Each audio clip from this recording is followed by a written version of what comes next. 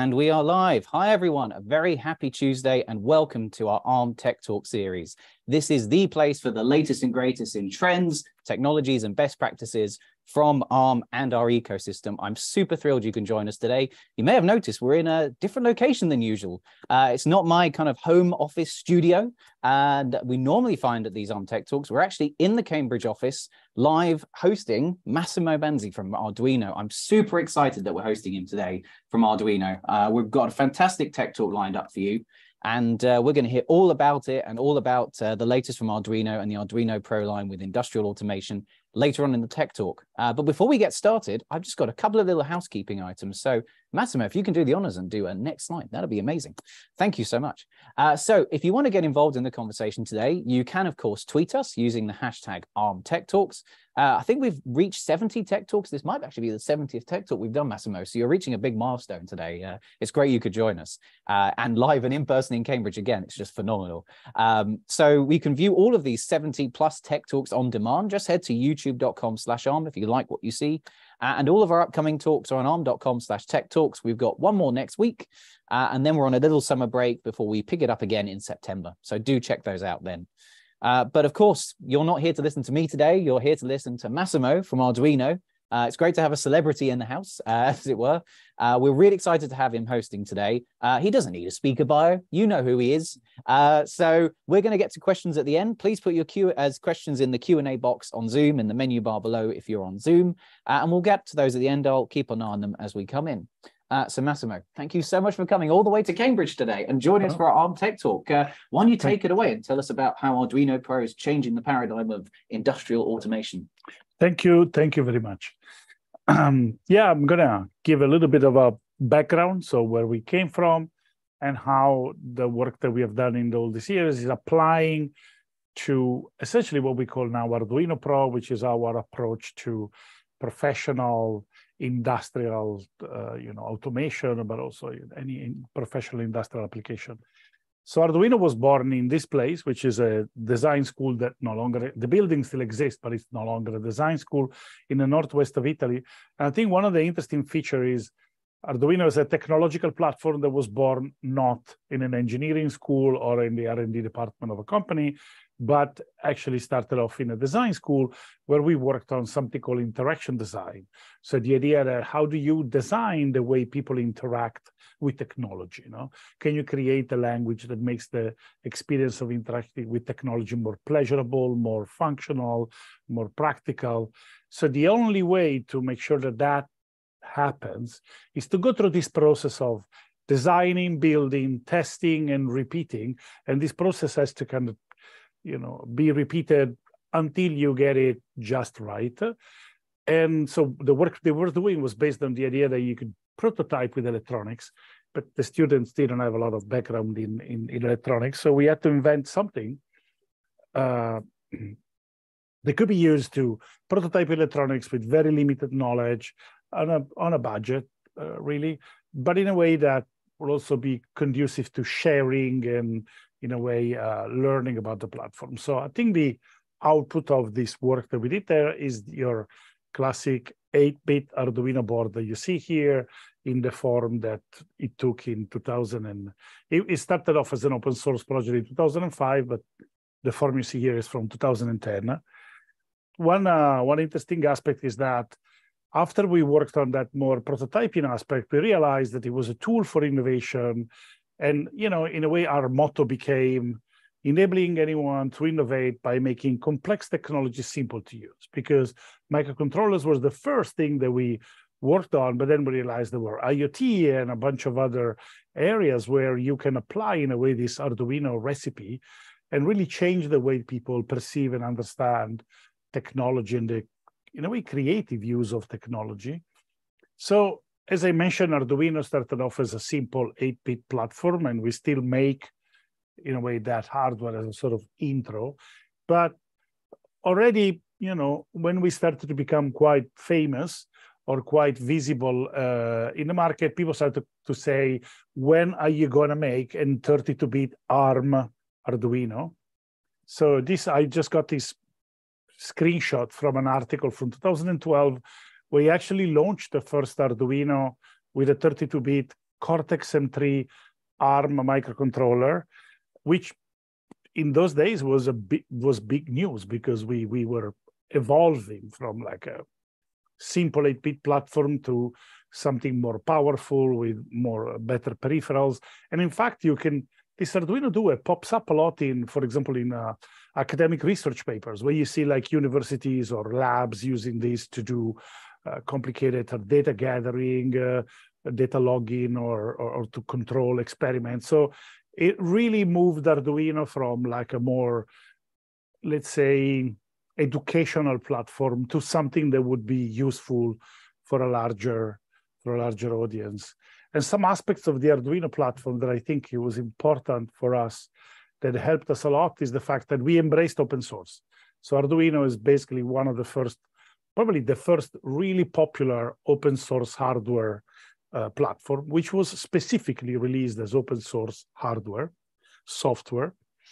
Also because we wanted to take advantage of the freedoms of, of, of open source. Now, the idea that on top of just running the software or using the hardware, you could study it, you could share it, you could improve it.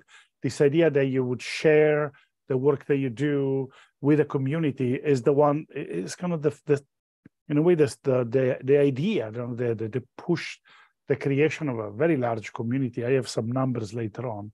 Another thing that was very important with us is to, to really work on the on the methodology for teaching technology. So the learning by doing, learning by making things. So this is a younger me with a lot more hair, teaching my students by learn by making stuff. And um, and re- literally we we changed in a way the uh, you know the, way people approach this technology to make it more accessible to a wider audience. The use of design to demystify technology. So in a way, use the design that you would use for a consumer uh, a product with a piece of hardware just to say, hey, you know, it's okay, it's accessible, it's usable. And um, and also in a way the made in Italy so the idea that still now 95% of what we do, even more than that, is, is manufactured in Italy. So there's a certain level of quality, yes, but there's also a certain level of attention to sustainability, the impact on the environment, uh, and also, you know, the, the, the, the, fact that we we have a community in a way that we support, uh, you know, that, uh, that that builds the, the Arduino products. So these are some of the ingredients that, in my opinion, translated this initial experiment that was used, it was literally designed for 50 people, no, or 100 people by me and my co-founders, uh, David Cuartielles, uh, Tom Igoe, David Mellis. So the idea was really applying all these different ingredients to create something that would have a strong community behind it, based on open source, really solving all sorts of problems. And people did use it to solve all the problems. Just some quick, quick examples. So for example, here, this is one of the earliest projects that I saw people do, which I really liked. Somebody built a cat feeder that would, uh, that would deliver different food to different cats based on a, on a RFID um, chip in the collar. And they used a, an old DVD reader to create this open door. And you see, it's, it's a cardboard box. It's kept together by tape and it's got some LEDs. But the idea is that somebody wanted a product that didn't exist and very quickly was able to create one. So this ability to turn an idea into something functioning, although you know in a, a bit scruffy like that, was was in a way one of the powerful uh, enabling ideas of Arduino. Then people applied it to a lot of different solutions. Now I have a, some random some random examples like this uh, person in Switzerland, for example, used a spare a laser from a from a DVD from an Xbox to create a laser scanning microscope that uses the Arduino technology to read data from that particular sensor and bring it to the to an app. Uh, so so you can create scientific instruments that replicate the function of much more expensive devices on a lower cost with Arduino technology.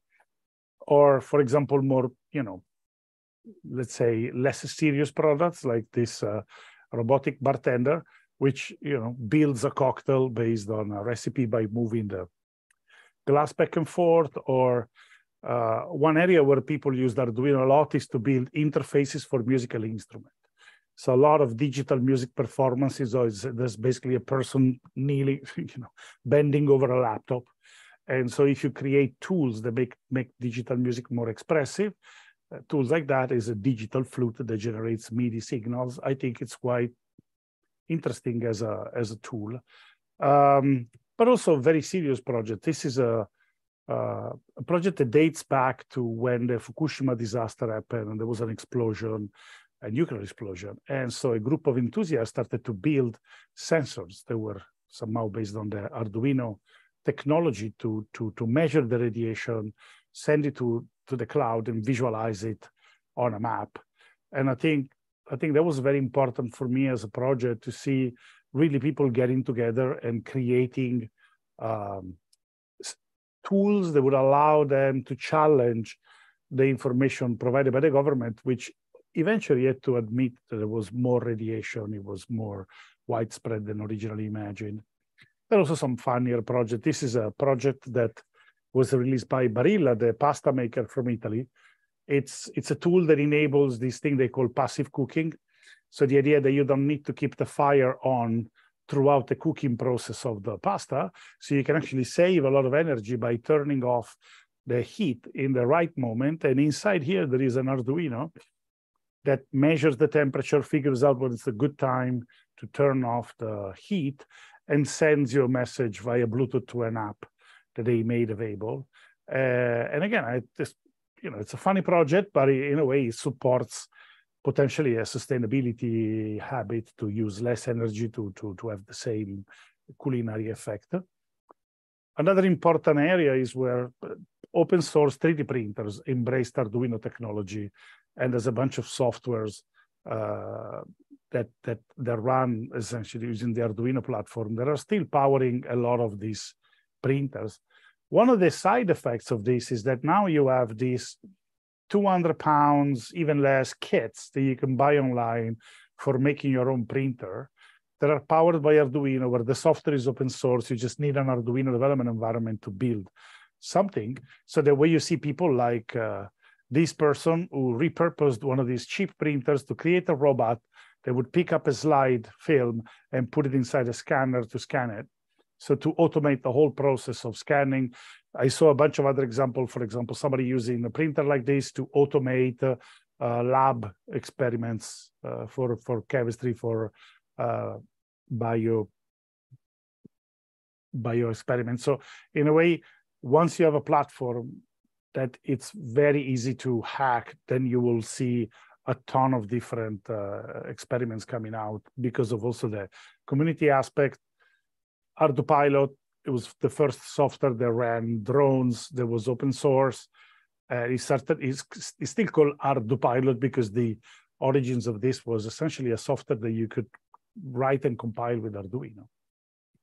And one last example that I really like, this young woman started to wonder in high school, how can you detect breast cancer? No? And so she, if a dog can detect it, can you create some hardware that does the same? So obviously went to university, she worked on her idea, she was able to build this box that contains an Arduino board and a sensor that she designed to detect breast cancer from a urine sample. And for that, she won the James Dyson Award, which I think it's a nice explanation of that phase of Arduino as a tool for experimentation, for innovation, for discovering new idea, for developing idea. So one of the things that happened is that suddenly we started to see a bunch of projects of people using Arduino boards that were basically consumer products, building industrial applications. So this is just a random example from a YouTube video where someone is actually building an industrial solution for, for, for a bottling plant. Uh, this was a user that I don't know anything about. I found it on YouTube just to say the, the, the, the amount of people doing this. Pro stuff using Arduino Megas, for example, which were not designed for, for, for industrial application, but the robustness of the product, the simplicity, and the fact that a lot of these automation applications are really simple things. You don't need incredible computing power. Made us think, hey, you know, we need to really go after this and enable this. So we created this part of Arduino called Arduino Pro that creates products that are still compatible with the whole Arduino ecosystem, still philosophy, same philosophy, but they are designed and manufactured to industrial uh, certification in industrial processes. So you can now take these products and you know, for example, this call is this called the Portenta machine control. We'll see later it was developed in partnership with a company that makes industrial ovens. So this is essentially it's a very powerful microcontroller-based product. There's a Cortex M7 and a Cortex M4 inside ARM microcontroller. So you can use this to for, to process control an, an, oven, but at the same time extract the information that you can send to the cloud to generate, for example, a digital twin of the oven. And this was one of the first products that we built to enable this transition and uh, specifically for the kind of project that we call internally retrofitting. So there's a bunch of existing industrial equipment that you want to enable for you know uh, what we call in industry 4.0 in Europe or in the US they call it advanced manufacturing whatever you call it there is this transition of existing equipment we want to modernize, with this you can do it. So basically, once you build something that's connected, you know, like this oven that we just mentioned, you have to go all through all these different steps, and you need software, tool chain, machine learning libraries, security. So there's a lot of different things that you need to keep into account when you build this solution. So it's not a very simple uh, endeavor. And then you have this choice now do you do like a chip down design? So you pick a chip you design a circuit so there's a lot of uncertainty a lot of cost specialized uh, and expensive uh, knowledge. Or do you use system on modules which is a great solution but sometimes they are proprietary tools that, that, that try to lock you into a specific vendor. There's not a lot of customization. So one of the things that we have to reckon with is the fact that open source is now invading as is every any part of software. And it's actually getting even into the industrial space. So more and more enterprise software is open source. Right now, if you're developing a web application and somebody shows up and says, let's use this proprietary tool, people are going to look at you and say, no, I don't think so. They're going to use an open source library to build it because that particular part of the software world has completely transitioned to open source. It's happening everywhere. So Arduino, in a way, has a history since we went sort of, we started to have the first commercial use of Arduino around 2008. We have a history of actually building uh, open source hardware, software, tool chain, and a large community uh, through different steps to really enable this process of applying the Arduino formula to the pro market. I think one interesting thing to look at is if you look at uh, LinkedIn, you will find more than 500,000 people that man, mention Arduino as a skill uh, on LinkedIn. Two out of five engineers mention Arduino as one of the skills. We have an estimated you know, user base for the development environment of Arduino of over 30 30 million people. So we have some platforms like our forum has more than 1 million uh, people active on the forum. So it's a large community made of all sorts of different people. So one of the things that we are doing now with Arduino Pro is really leveraging all this open source technology, the community, uh, and really creating a version that that applies to companies. So we really take this in a way, uh, community knowledge and make it available open source to somebody trying to build an enterprise, enterprise application. And one of the interesting things about Arduino is that we provide all of the elements that you see on the left, from the device hardware, the software, the communication, the cloud. So if you want to build an end-to-end solution, you can use the whole Arduino Pro platform, uh, or you can just pick and choose. You can use the hardware, you can use the development tools. We also integrate with clouds that are not Arduino, and there's a lot of open knowledge that's available. Uh, and I think that's that's an important change in the way people do industrial applications. You know, there are some industrial vendors that if you want to register for their forum, you have to apply and then you wait for up to a week that they approve you. Uh, in the same time, somebody that starts with Arduino from scratch while it's waiting for the other forum to approve him or her has already built a solution. So I think that's kind of the, the speed, no? Community, low code, but working in enterprise setting. Uh, and I think, you know, in a way, we've been providing products for over 10 years. So it's when we make a product that has customers, we keep making it for years and years and years. We test every single hardware product in the factory, so we guarantee very low, low level of failure, if any. And then, you know, it's a we have a very good supply chain that we can document and demonstrate, and we also provide enterprise level support now. So it's a different Arduino from the one that we are used to. And we're actually very, very careful now to really look at all the best security practices. For example, all of our hardware comes with this hardware secure element that makes security central to the way we create connected uh, products, which is also one of the things that ARM is really passionate about. So there's a little logo down there that says that we, one of our products is, is even PSA certified. So we work with ARM to certify one of our hardware products. We are getting ISO certified. So we are, so in a way, different things that basically say, look, the Arduino that you're looking at is not the one that you are used to is not the one you think it is. It's a different, applying the same formula, the same value, the same advantages, but to something that can work in a, in a real environment.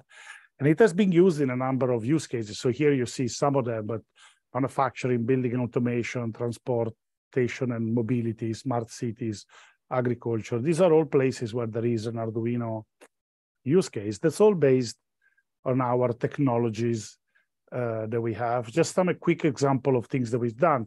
So as I said, the Portenta machine control was originally developed in partnership with a company making ovens for uh, for food production.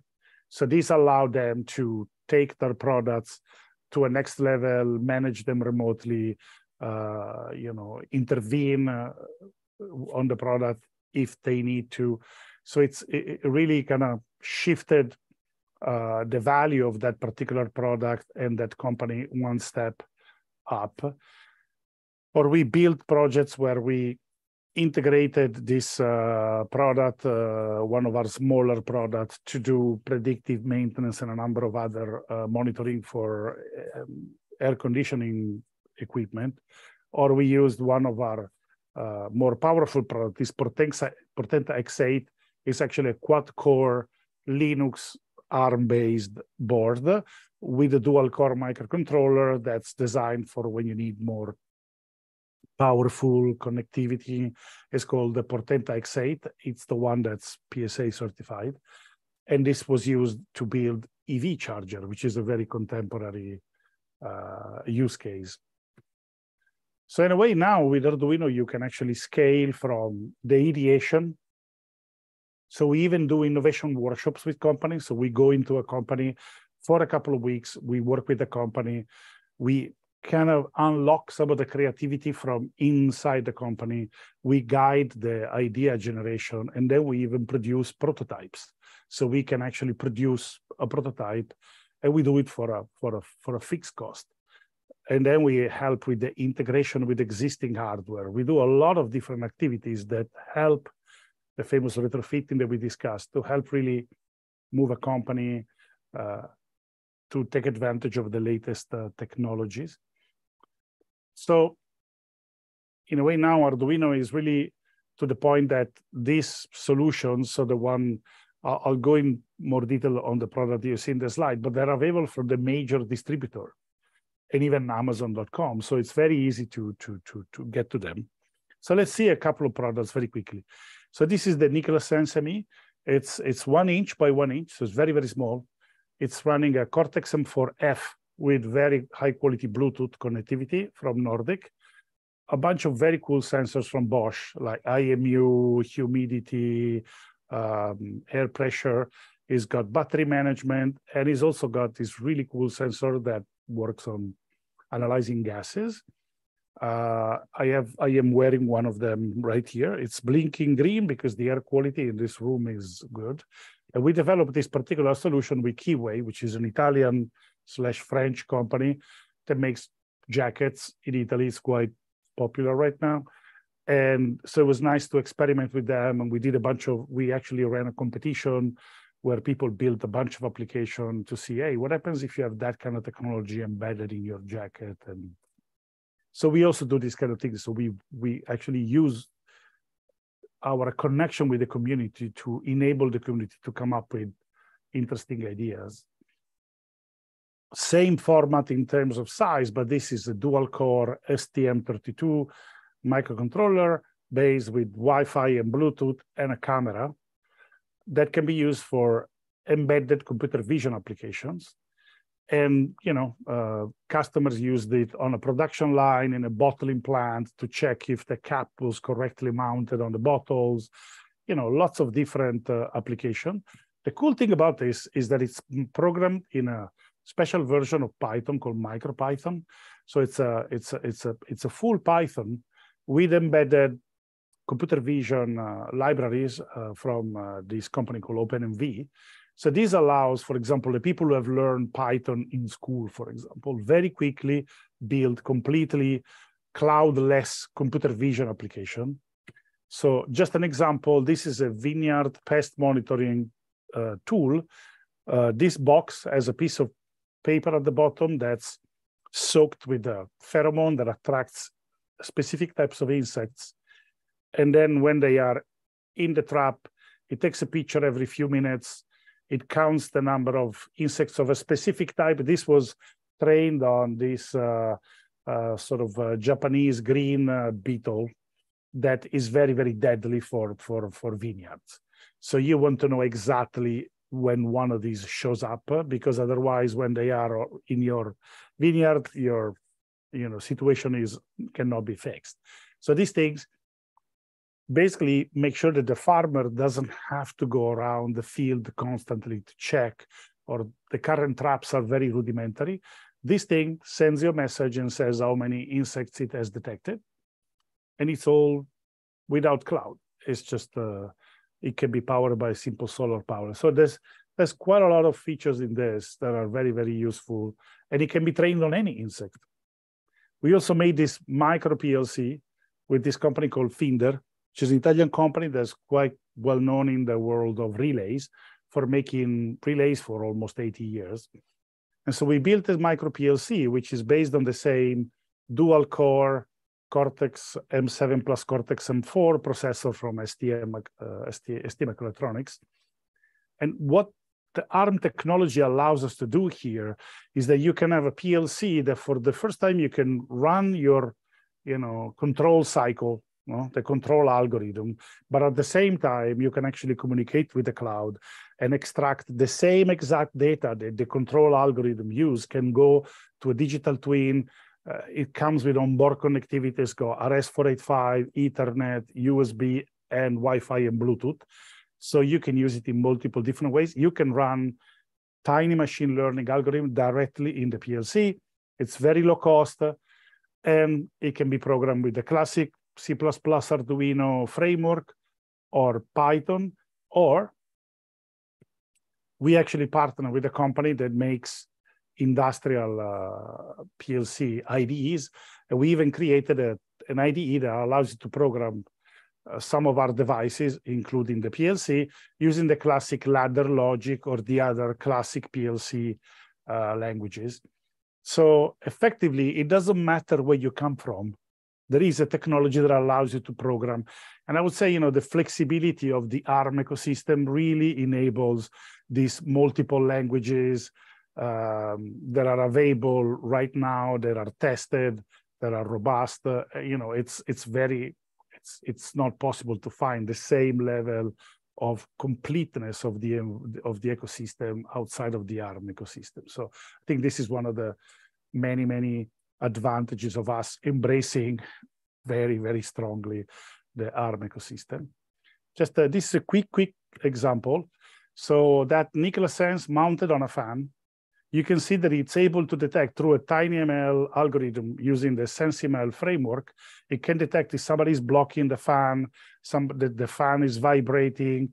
It can even detect if uh, some object is blocking the, the fan. And, and this only by looking at vibration and sounds uh, of a simple little device that's just mounted externally from a mechanical component.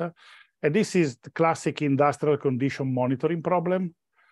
But you know, this is implemented very simply at uh, you know reduce cost. And this application of TinyML for us is quite important because we can uh, you know we can really enable a lot a lot of different user scenarios. Just a quick example. Uh, we built this kit to support Harvard University creating the first tiny machine learning class, which they decided to bring to their online learning platform. So we built this kit together. This is a Cortex M4F uh, with Bluetooth. Again, another Nordic part. The, the board that you see there is full of sensors, inc including uh, IMU, color sensor, gesture sensor, but we also interfaced it to a color camera. It's a, it's a slow process, but it's enough to do interesting computer vision. And people have built a lot of different applications with this. So, for example, from detecting if animals have got respiratory diseases just by getting sounds, or early detection of um, epileptic seizures, you know, typical COVID-19 use case, detecting coughs. You know, is someone coughing? I think one of the beautiful things about TinyML that we really, really like is the fact that you can apply machine learning algorithm to small devices. They use very little power. They use very little connectivity because they process the data locally, and they allow you to to build solutions that have a very where where the privacy is very central. So if you do computer vision on the little board that I showed before, all the processing happens inside the microcontroller. What comes out of the device is just a number. Nobody can extract the image from there. Other solutions tend to stream all the video, all the images to a cloud, and it in the cloud, but when it gets to the cloud, someone might be able to look at those images. If you do TinyML, you will not you will not know who is coughing. You just know that someone is coughing.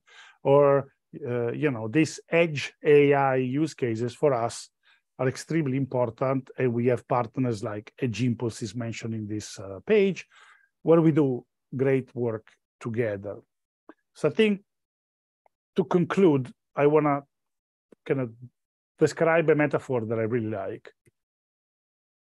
When a beginner, but a beginner can also be somebody working in a company that wants to build a solution and they don't know very much about the industrial environment, how to build industrial solutions. They approach this as a wall. They're climbing a mountain. You see, this is a very vertical mountain. So you need to be, you perceive you need to be like a very, very skilled climber to get to the top. So a lot of people say, you know what, I'm not gonna, I'm not gonna bother. I'm just gonna, you know, give up. So they don't apply modern solutions because they don't understand that they can do it. So it is up to us, people who create tools, to change the paradigm and really say, hey, no, no, no, no, it's not a, it's not a mountain, it's stairs. It's a collection of a lot of steps. You're going to go to the same height, but instead of climbing with great difficulty and danger a vertical surface, you will take a step, have a little success, build upon that, iterate on that. And when you get to the top, you will have a lot of skills that allow you to build a lot of solutions. Because again, what we learned from putting technology in the hands of everyday people is that when you create the right tools anyone, anyone can create great projects. So at the same time, in the we feel that in the industrial field, there's a lot of people in companies, in factories, in a lot of industrial environments that if given the right tools, they can actually directly implement solutions that will impact positively their own world, their business, their community. So we really believe in this particular paradigm. So we want people to be able to climb to great heights one step at a time.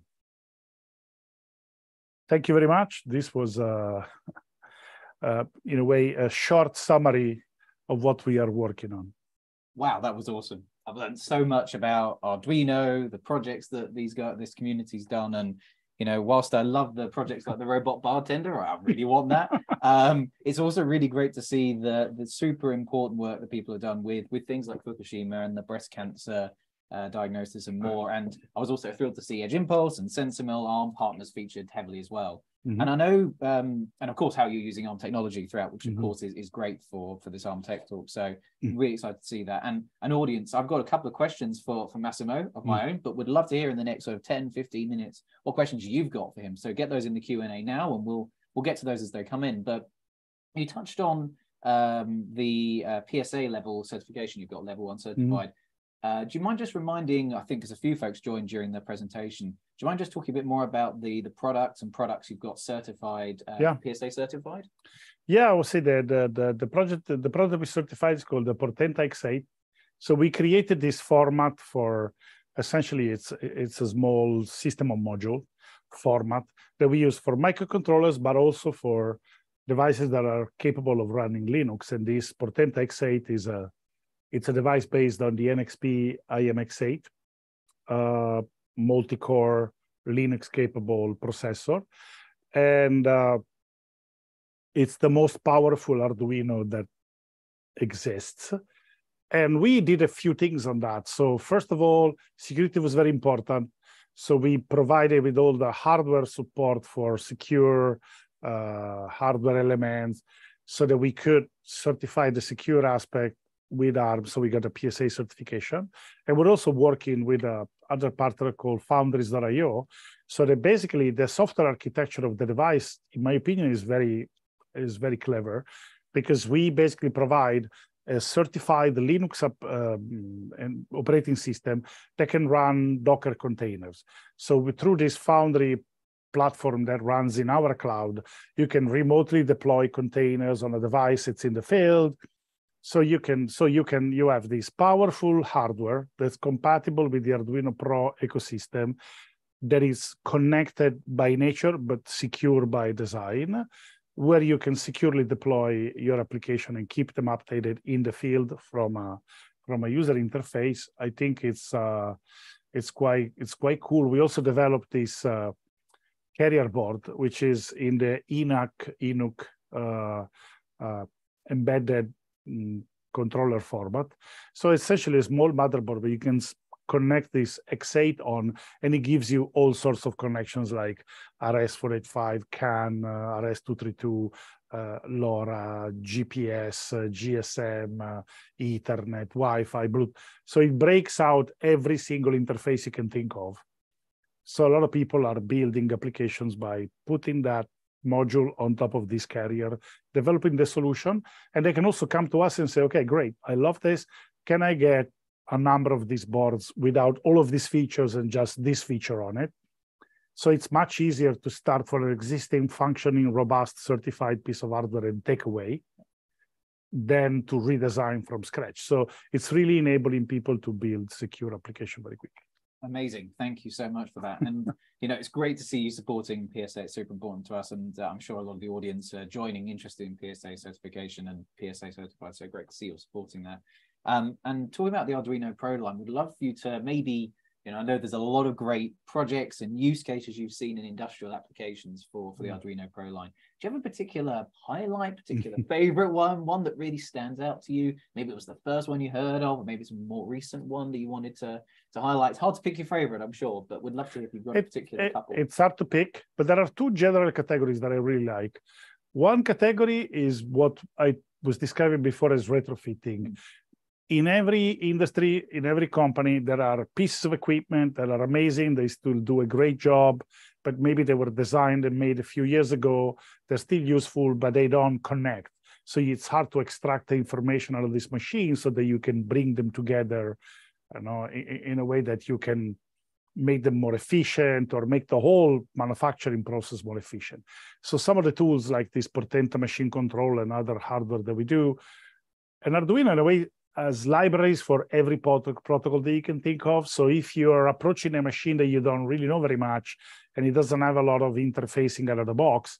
With the with an Arduino hardware and all these libraries, you can create a custom integration for that and expose this machine to the cloud as something that you can create a digital twin of. So that kind of application I really like. Mm-hmm. So upgrading existing equipment so that you don't have to change it. And the second thing is the embedded computer vision. You know, I showed you the the insect trap. But you know, for example, I, I, I made a pro I made a project for actually one of the for an online event that ARM organized, where I used one of these uh, Portenta-based the camera embedded cameras to point at a mechanical counter that you see in a lot of equipment right now, and I taking a picture of the counter, doing essentially using basic machine learning to decode the numbers. So a mechanical counter that normally is something that a human has to kind of write down and bring the data out, you just mount this little camera on it, forget about it, that number goes in real time to whatever cloud you're using. So you're removing the human element to this kind of boring, tedious, mm-hmm. go around and read all these indicators.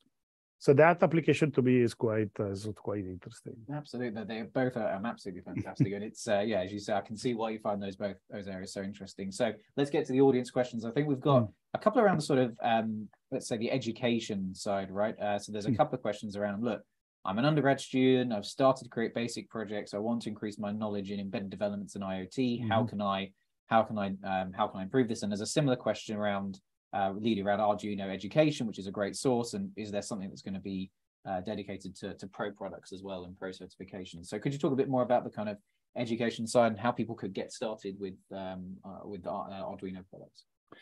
So depends on which level you start. So for example, you know, one of the classic ways that people have used in the past to start from scratch is to use this thing that we call the Arduino starter kit. So it's a box that you buy.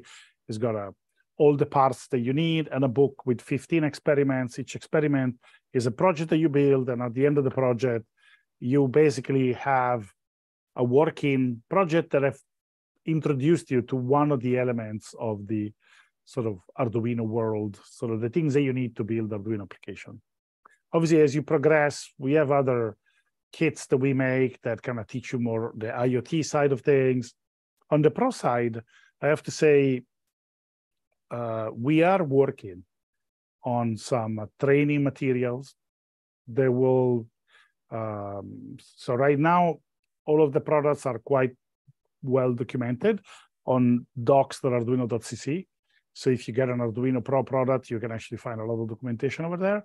But we're also working on some training material because sometimes you know when someone who's working in a company, for example, wants to adopt that technology, we're, we're working on creating an actual training program for the pro side. Mm-hmm. It's in the works. I don't have an exact date when it's going to happen, but uh, I think one of the advantages is that there is a big community behind Arduino. So if you get an Arduino Pro product and you're trying to build something and you are unsure, you can also go, there's a specific section of the Arduino forum for those applications, but you can also contact Arduino. There's a, there's a form where you can say, hey, you know, I, have this pro product. I'm trying to build this solution. Can you help me out? And there's a team in Arduino that does that. They help people implement. Awesome. Thank you so much. And yeah, keep your questions coming in, audience. These are great. And if you want a particular question from if you want me to ask a particular question to, to Massimo, because they keep coming in now, uh, make sure you hit the thumbs up button on the question and I'll get to those first. Uh, so Richard asks um, a question around years ago when you were first supporting the development of the community of practice on Arduino, what did you find worked the best to help build momentum? I don't know. I think it's um, it's a really a combination of things that we did. Sometimes I don't think they were even something that we particularly strategized. Mm-hmm. So, but I would say embracing the open source in a way reduced the risk that people perceived in jumping on Arduino as a platform because they said, you know, if these guys, you know, decide to stop making hardware and open a pizzeria, you know, you can still, I can still use everything because it's just out there in the open, it's open source. So that in, people to, to be part of this. I would say we focused a lot on the user experience. A lot of technology platforms they focus on oh look how powerful is our processor or look at how many peripherals there are but to really focus on the user experience to make it incredibly easy for people to get started you know the stairs metaphor mm-hmm. that part uh, focusing maniacally on the user experience allows you to have incredible success uh, and build very successful projects and products even with a cortex m0 plus which is the smallest uh, probably the smallest uh, core that arms may arm makes but in a way the power of the, the platform becomes less relevant if people people will squeeze every drop of power from a processor they understand very well. Mm. And I guess the other thing that we tried to do was we didn't try to dominate completely the market. So, for example, when people started to, we we created a platform in a way that we encourage people to create accessories. At the beginning, they were called shields, so things you would mount as an accessory on your Arduino to add features. So one of the interesting thing there was that this idea that it would be better to have a smaller size of a really big market as opposed to have 100% of an you know negligible market mm-hmm. Was a big choice at the beginning letting go letting people come in sharing away the the market with other people made the market larger so these kind of things are sometimes are counterintuitive because people don't want to let go they don't want yeah. you know, to let other people in. So the open source hardware clearly uh, enable a lot of people to clone our products. So, but you know, the people who do real application will come to the original. Uh, and so, you know, the people who buy the cheapest product will always buy the cheapest product. It's not that uh, any anything's going to change their mind. Absolutely. No, thank you for that. Great answer. I hope that answers your um, your question. The next top voted one is uh, my intuition is that young folks who get into embedded with Arduino will be more predisposed uh, to use Arduino Pro when they go onto the workplace. Is this what you expect to happen? yeah, it's, I mean, obviously, we would love people to progress uh, and and use. And I think, you know, this is happening right now in a way you know first of all it's happened to me all the time i was in california like a couple of weeks ago to this uh, sensor converge conference mm-hmm. i bumped into a number of people that said hey you know i started using arduino in high school doing silly projects i got really into embedded development and then i really loved electronics that i never considered before so i went to university i graduated and now i'm working at x and you know this is really resonating with gen z audience no they really like this approach that favors the ease of use versus oh look how powerful this is no? Mm-hmm. so the, the, the usability of the platform is really something that is the real power in a way that they appreciate and this allowed a lot of these young people to actually go into industry in, into into big company so that's happening. So we believe and we hope that these people will bring Arduino with them. And again, I had a number of people that I speak at events. I say, you know, I was looking at my colleagues struggle on this thing, and then I raised my hand and said, sorry, but if we put an Arduino in here, we could just do it today and just not. So this mechanism is happening, and we see it reflected on on the fact that uh, people are, uh, you know, coming back to us for this but also in general, I really want people to understand, to have a way to understand how embedded development works in a way that's much more user friendly than the way it is taught normally. Then if they use another platform, okay. You know, at the very least, if they use Arduino, they will learn how to use an ARM processor. yeah, okay. Exactly. But but it is, I, I believe that Arduino is introducing young people to the ARM architecture at a way faster rate than other platform. I don't want to sound too, you know, too arrogant, but I do think that we put the ARM architecture in the hands of a bunch of young people. Sure. Uh, so that that's already a nice uh, Absolutely. result. Absolutely, thank you. And I think we've got time for two quick questions. One is around uh, the Uno 4 uh, I've heard about the Uno 4. I've not looked at the details. Can you tell us what the main differences are and if all the pins are backward compatible? Uh, yeah. So, so the Uno R4 was a was a logical trans transition for us. So we had this 8-bit platform for a long time, and obviously we migrated every single other platform to 32-bit ARM. So we still had this introductory platform. And one of the challenges was that a lot of the classic Arduino ecosystem is based on 5 volt logic. And a lot of more modern 32-bit processors, they don't deal very well with 5 volts. So we needed to find uh, an ARM-based processor, preferably a Cortex-M4 to start with, with five real 5 volt logic. They would have a native USB. It was very, very difficult to find. And then, you know, one of our partners is Renesas. We look at their really big catalog and we found this part. And we said, okay, this is a good starting point. And then we realized that people want a connected product and they might want just a classic non-connected product. So we made two products with the same architecture. It is compatible. We did test the software side with the 100 most used library by the by the users and uh, or the most installed let's put it this way and so we make sure that it's largely compatible. The um, the pinout is compatible, but it's better. So, for example, it adds a digital to analog converter, a real one, so you can re generate real analog signals. The the analog inputs are compatible, but much better. There are also extra features like CAN bus and a bunch of other interesting things. The USB connection is now native in the old Arduino. There was a separate chip doing USB to serial. Right now, we have a real hardware serial port and a USB-based serial communication, which is native, so you can simulate mice, uh, you can simulate keyboards, you can simulate game controls, whatever.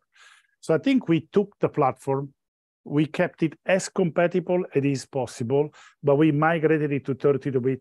I did a, we did a CoreMark test on it, and honestly, in certain application, is even 200 times faster than the old. Obviously, because you you have a 32-bit uh, processor that does in hardware things that were done 8-bit at 8-bit at a time in the old one. So on certain types of operation, you get massive improvement. You know? So I think their objective was to migrate that community to a better processor with as much compatibility as possible. Amazing. Thank you for that. And I think we've got time for one more question, which I think is a great way to finish uh, from Parag, which is where do you see Arduino going over the next 10 years? well, I will quickly go back to the original statement I made at the beginning is to take complex technologies and make them simple so that you can make them available to as to, uh, to the largest amount of people because this will generate an incredible amount of creativity. So to me, there will be always a new technology that we have to make simpler. So let's look at all the TinyML It's great, but some of the tools are complex. Even the way machine learning is taught tends to be either very math heavy, so if you don't have a background in math, hard, or it's very heavy on this individual framework. But something that teaches about machine learning from first principle using the Arduino, in a way, philosophy, would be a great contribution. There's a bunch of other technologies in the future. So to me, bringing Arduino into the pro environment and enabling a bunch of people to do innovation in the industry, it's important. I really like it. Also, I think the this particular industrial application of Arduino tends to be also something that creates opportunities and generates opportunity and jobs at a local level. So if you innovate on something in your community, it will bring value to your community. And I think this ability to improve at a local level something, it's, you know, there's people in Africa building solutions for things they see around them using Arduino technology in a way that's for their community. So this ability to take complex technology, makes them simple, spread them out, and people take them and improve their life at the local level to me, it's an amazing uh, mission. Couldn't agree more. Thank you so much, Massimo. Thank you. And thank you, audience, for your great questions as they come in today. Really, really enjoyed it. It's been great to be in our new studio in Cambridge and for Massimo to uh, to join us live in the uh, rather than over a Zoom call, as it were, on the other end somewhere in Italy. So it's great to have you here in person. Really enjoyed today's Tech Talk. I hope you have too. Uh, we'll be back same time next week, 4 p.m. UK, 8 a.m. Pacific time uh, for another of ARM Tech Talks. Uh, and that will be the last one before our summer break. So do check that one out. Head to arm.com slash tech talks for the link and make sure you register for that one. Uh, we look forward to seeing you there. And uh, thank you so much again, Massimo. Really, really appreciate it. Thank you. It's and, been a uh, pleasure. really, really appreciate it. And audience, thanks so much for your questions. And we'll see you again next time, uh, same time next week for another of our ARM Tech Talks. Thanks so much, everyone. Bye bye.